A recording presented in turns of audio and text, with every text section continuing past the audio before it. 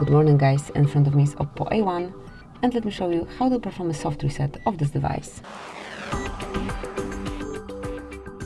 So basically all you have to do is to click on power button along with volume up button, hold them together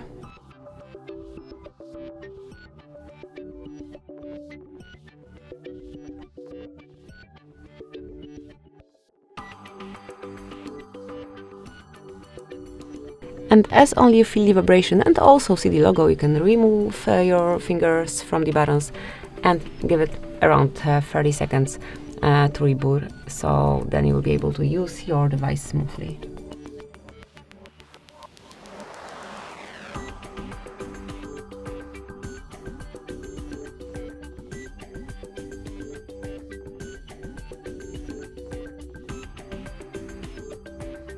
Now provide your uh, screen lock pattern.